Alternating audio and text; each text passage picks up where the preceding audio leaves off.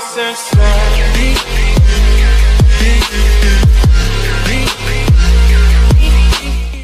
Paola Roja reveló a sus compañeras del programa, Netas Divinas, el bochornoso momento que vivió con el expresidente Enrique Peña Nieto durante una entrevista en la cobertura del sismo de Oaxaca de 2017, de acuerdo con Tribuna, Consuelo Duval, Natalia Tellez, Dalila Polanco y Daniela Magun, relataron vergonzosos episodios que nunca antes habían revelado ante cámaras.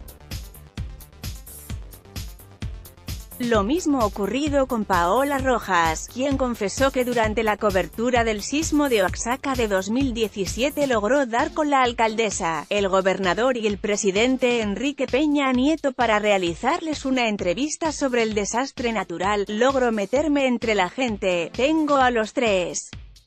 niveles de gobierno listos para la entrevista, y mi cámara no estaba, comencé a buscar a Yahir, el camarógrafo, y nunca apareció, yo tenía al presidente enfrente y no tenía cámara, relató Rojas, pero qué momento tan angustiante fue el que vivió arroba Paola Rojas durante una cobertura.